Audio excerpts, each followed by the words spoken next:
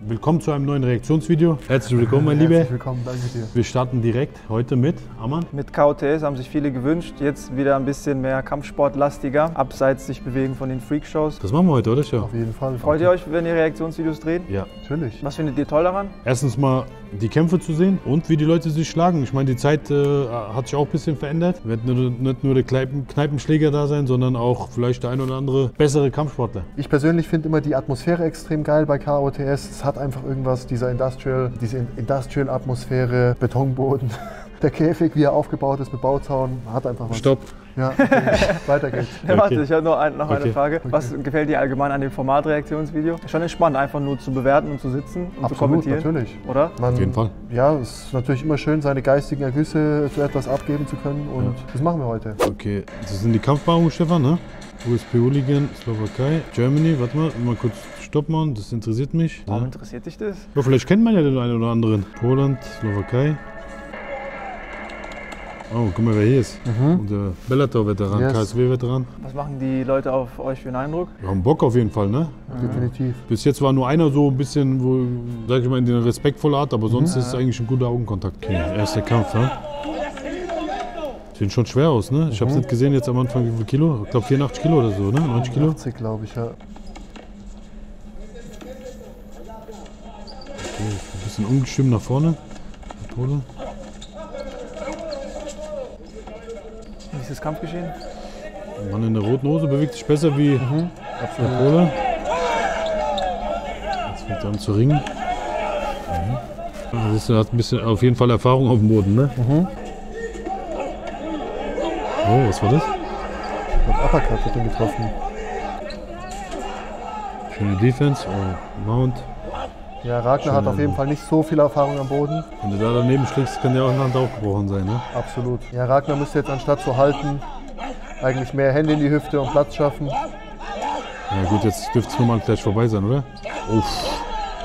Das ist brutal. Ragnar hat jetzt nicht besonders gut den Kampf aufgebaut, war sehr ungestüm, wie er nach vorne gegangen ist, ist dann ein paar Mal getroffen worden. Ich denke, gerade unter dem Bärnagel-Aspekt sollte man es vermeiden, zu viele Schläge absorbieren zu müssen. Ja, sein Gegner hat es eigentlich, hat ihn gut neutralisiert. Das, was, er, was Ragnar ihm gegeben hat, hat er genutzt. Aber das äh, färbt dann wieder ab vom Hooligan Hooliganismus, weil so gehst du ja in den Kampf. Du gehst nur nach vorne. Ne? Du stürmst eigentlich, wenn die ganze Masse mitläuft, stürmst du dann nach vorne. Und das sind so, äh, so Sachen, erst der Tritt, dann der Schlag. Aber eins gegen eins sieht es dann natürlich anders aus. Ne? Der hat es gut gemacht, der hat sich gut bewegt, hat eigentlich gut verteidigt, seine Takedowns und dann äh, zum Finish gekommen. Ihr jetzt als professionelle Kampfsportler, die sich ja auch mit gesitteten Regeln auseinandersetzen müssen, wenn ihr jetzt so seht, wie jemand so gegen den Kopf getreten wird von oben, so ein Storm von oben, was macht das für, einen Eindruck auf euch? Ich sag mal so, die Anfangszeiten vom MMA, wenn man, wie ich gesagt habe, Wanderlei Silva guckt, seine ersten Kämpfe oder bei Bright noch genauso, war das ja auch alles erlaubt. Ist halt ein kompletter Kampf, ne? Halt Teil der Sportkultur, würde ich sagen. Was spricht dagegen, vielleicht wieder ins MMA-Regelwerk heutzutage Kopfnüsse und Storms wieder einzubauen? Ich glaube, das ist äh, nicht salonfähig dann auf jeden Fall. Zum Profisport passt, passt sowas nicht. Fußstomp, aber wenn ich überlege, wie ich bei, früher bei GMC gekämpft habe, auch im Titel waren noch Knie zum Kopf äh, auf dem Boden erlaubt. Das ist eine Sache, wo ich sage, okay, das kann man, kann man schon einbauen, aber jetzt so Soccerkicks und äh, äh, Kopfnüsse, das ist schon zu, zu hart. Wir wollen das Ganze ja salonfähiger Genau. machen und ich denke, das wäre ein Rückschritt auf jeden Fall, diese Techniken wieder einzuführen. Und es verändert natürlich auch das ganze Bodengame, Ja. wenn du auf einmal wieder Soccerkicks machen kannst zum Kopf. 21st Punky. Sieht gut drahtig aus, ne? Oh, kommt der. Oh, hier. Oh. Ach du Scheiße. Boah, das ist richtig aus. gehen wir nochmal zurück kurz, oder? Ja. Da siehst du. Rechter Haken, gell? Ja, schöner offener Schlagabtausch, ne? Hat ihn schon mal vorher getroffen. Ja. Und da, Linker Haken. Linker Haken. Direkt zum Kinn. Ja. Das ist natürlich dieses Risiko, was man hat, wenn man eine, in Anführungsstrichen Kneipenschlägerei macht, ne, wo geschwungen wird. Ein Ding ans Kinn, das kann es äh, natürlich direkt vorbei sein. Aber haben ja beide gemacht, von daher war es 50-50. Er hat sein Kinn halt krass exponiert. Also wenn er kompakt bleibt und mehr aus den Beinen boxt, glaube ich, er hat, hat seinen Kopf krass exponiert. Wenn du wild schwingst und deine Ellbogen öffnest, ist das natürlich 50-50, was passiert, wenn du in der falschen Distanz auch noch stehst. Bei sowas einen Schritt zurück machst und haust dann eine Gerade rein, hast du auf jeden Fall äh, weniger Risiko. Ne? Sich ein bisschen auf den Beinen zu halten, ein bisschen bisschen vielleicht zu tänzeln, aber die stehen ja beide platt auf den Füßen und lassen äh, oben die Schwinger äh, laufen. Von daher, Wenn man sich jetzt in einer Situation befindet, wo man in einer Rauferei ist und man sieht, dass der Gegenüber halt jemand ist, der schwingt und nach vorne kommt. Wie geht man dann am besten damit um? Auch vor allem psychisch mit dem, mit dem Druck und auch technisch in der, in der Praxis. ja, auf jeden Fall erstmal die Beinarbeit, das ist das Wichtigste. Ne? Nicht, dass du dann vor ihm stehen bleibst, sich bewegen, dann ist natürlich immer ein anderer Winkel da. Er haut vorbei oder wie auch immer zum Kontern dann. Natürlich dann auch nicht den Überblick verlieren. Ne? Das ist das Allerwichtigste bei der Sache. Den Rest wird euch Stefan sagen. Kurze Frage noch, wenn du meinst Überblick, das heißt, ihn nicht aus den Augen verlieren, konzentriert bleiben, auch wenn man vielleicht einsteckt, nicht Genau, genau. direkt demotiviert sein. So ist es, genau. Das ist, äh, wie du schon gesagt hast, auch da, beim Schwingen kann immer mal eine durchkommen, aber dann trotzdem in dem Moment nicht den Überblick verlieren, sondern straight bleiben, Bein nach hinten raus, sich bewegen, rausbewegen, Pivot machen, dass du wieder die Mitte kontrollierst, so Sachen halt. Ne? Ich denke, Körperspannung spielt eine ganz große Rolle. Was man in vielen KOTS-Kämpfen sieht, dass die Leute unheimlich angespannt sind. Die explodieren eine Minute und dann sind sie natürlich extrem müde, weil es natürlich sehr viel Energie kostet. Das hat natürlich auch zur Folge, dass wenn du getroffen wirst und dein Körper unter einer großen Spannung, dass der Treffer ganz anders wirkt, als wenn du entspannter und relaxter bist. Oder die, das ist auf jeden Fall schon technischer, ne? siehst du ja direkt. Oh, schöne Ellbogen, ne? Er lässt schön die Vierhand laufen. Das ist schon auf jeden Fall technisch auf einem anderen Level. Ne? Würden euch Zurufe helfen? ja, auf jeden Fall. Ja, also ich weiß nicht, fuck him up ist jetzt nicht die technischste Ja, das, Instruktion. das, das wollte ich nicht damit sagen.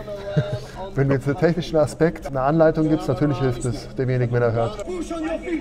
Oh, gut. Das ist nicht so verkehrt, mit den Knien da zu arbeiten. Ne? Aber die halten schon ganz anders die Distanz. Ja, ja, ne? ja. Das ist nicht dieses Das sind auf jeden Fall äh. Kampfsportler. Ne? Das man, sieht man sofort. Die, die Führhand läuft da. Mhm. Die bewegen jetzt nicht so viel, aber du siehst, die wissen schon, was sie machen auf jeden Fall. Schöne Kombination. Da gibt es nicht äh, mal kurz aufhören. Ne? Nee.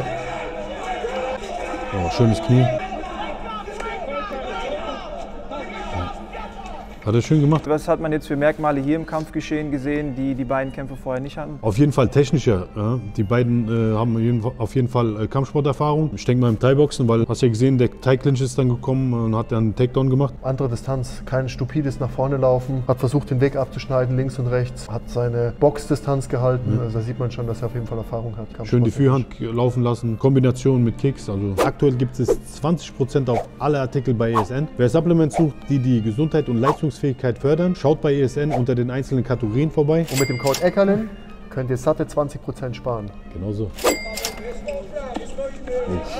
Das war auch tiefer. Das hat sich tief angehört, ja. Du siehst, der ist kompakt, ne? der schwingt auch. ja. Schöner Schön, Takedown. gut übernommen. Da sieht man auf jeden Fall, dass er Jiu-Jitsu-Erfahrung hat. Mhm. Ja, ja. So wie er übersteigt, wie er den Rücken nimmt. Jetzt sprawlt er erstmal, geil. Geht Hat einen Haken noch nicht drin, ich glaube jetzt. Ja.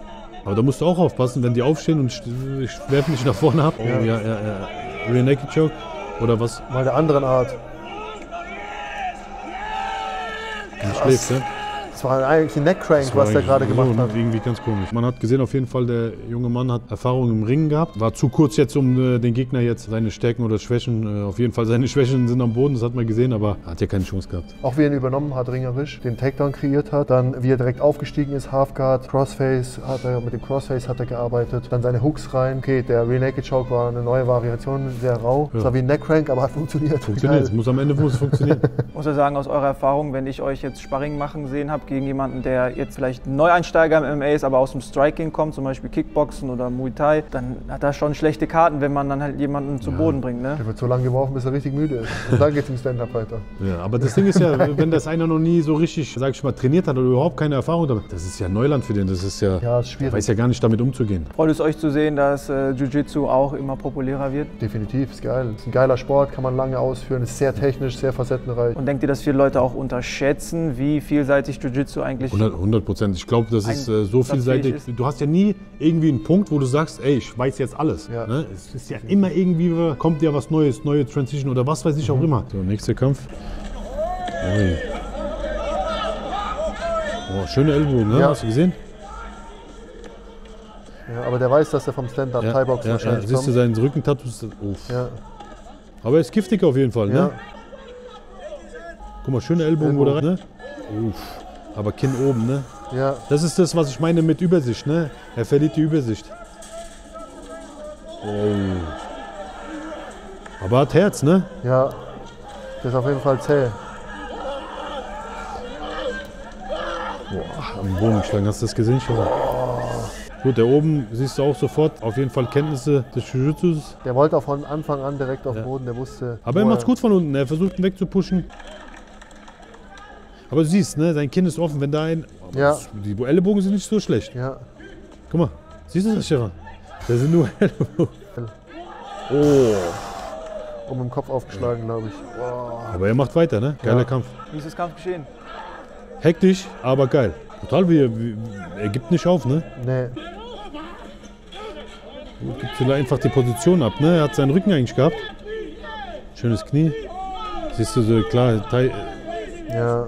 Thai-Boxer. Er Aber schöne Knie. auf diesen Thai-Clinch, Ja. ja. Schöne Hammerfist, ne? Jetzt dürfte es gleich vorbei sein, ja. Aber guter Kampf. Wenn man jetzt den Langen gesehen hätte, ganz normal in Straßenklamotten und man hätte sich mit dem auf eine Rauferei eingelassen, glaube ich, wäre man schon überrascht gewesen. Wie ist es aus eurer Erfahrung? Wie groß ist der Zusammenhang zwischen der Optik und den tatsächlichen Kampffähigkeiten? Gar nichts. Es gibt keine optischen Anzeichen oder eine optische Versicherung, dass der andere keine Kampfsportfähigkeiten. Ich meine, es gibt Leute, die sehen aus wie ein Nerd, äh, Programmierer, ITler und am Ende sind die richtig krasse Bodenkämpfer. Die schlimmsten an der Tür, wo man wirklich gedacht hat, ey, kommt, wo kommt das her bei dem? Sind die dünnen, drahtigen Ja. gewesen. Die aufgepumpten, die sind gerannt, äh, die haben Blasen an den Füßen vom Ring gehabt. Aber die anderen, die waren einfach dieses, dieses Zähe, weißt du? Das habe ich bei ihm auch gesehen. Ne? Der gibt, hat Absolut. nicht aufgegeben. Das ist seine, sein Stand. Ne? Der- ist, Ja, aber da ist der andere auch gezwungen, technisch zu kämpfen, Ja, weil er weiß, ja, er hat ja. keine Chance. Kann man anhand der Bewegung schon am Anfang prognostizieren, wer hat mehr Kampfsporterfahrung, wer nicht? Geht das schon? Kann man das machen? Absolut. Man sieht am Bewegungsmuster, ist jemand entspannt, hat eine gewisse Routine. Man fühlt es ja auch, ob das eine, eine stimmige Bewegung ist. Oh, Ui. schön. Hat gute Takedown-Defense. Hoi. Sehr gute Take und kann halt einstecken auch. Ne? Nimmt auch immer die Ringmitte. Ja, schöner Frontkick. Ja, bei dem anderen ist jetzt schon Ja, das ist Er reagiert die halt- Anspannung. die Ne? Anspannung, nimmt ihm halt Oh, schönes Knie, ja. Schön. Setzt direkt mit dem Knie nach. Oh, aber guter Takedown. Das siehst du auch vom Boden, ist auch eigentlich technisch gut versiert. Ne? Schöne Position, macht er gut. Wie ist das Kampf geschehen? Du siehst es sofort, ne? er weiß genau, was er tut. Er ist Profisportler, macht Step by Step die richtigen äh, Schritte auf jeden Fall. Ich denke, es dürfte auch gleich vorbei sein. Ja, das ist okay. direkt vorbei. Sagst du jetzt rückblickend als jemand, der begnadeter Kampfsportanalyst ist, äh, wie schätzt du das Geschehen ein? Was erkennst du für Muster? Was kann man jetzt aus diesen fünf Kämpfen lernen für all die am anderen Ende des Geräts, die lerndurstig sind? Aber du hast gesagt, die Kamera läuft nur noch fünf Minuten, ne? Stefan, halt dich kurz. Okay. Aber du musst doch noch zur Bundeswehr. Ich muss Bundeswehr mein Bett machen. Man sieht ja direkt, wer kommt mit einem Gameplan rein. Und wir haben heute gesehen, wer relaxed ist und ein gewisses Selbstvertrauen in seine Fähigkeiten mitbringt, der wird am Ende einfach besser abschneiden und besser sein Game etablieren können als sein Gegner. Jo Leute, das war unsere Reaktion. Wie immer geil. Kurz, macht mir sehr viel Spaß. Ich Geil, hoffe dir auch, auf Stefan. jeden Fall. Vielen Dank, dass du dabei warst, auf jeden Fall. Danke, dass ich Wie dabei immer. sein durfte. Na klar, gerne. Amann, vielen Dank Ja, für deine, ähm, wie sagt man? Professionelle Moderation. Guck mal, das ist Äh, mäßig. ich hoffe, ihr habt Spaß gehabt. Auf ja? jeden Fall. Bis zum nächsten Mal.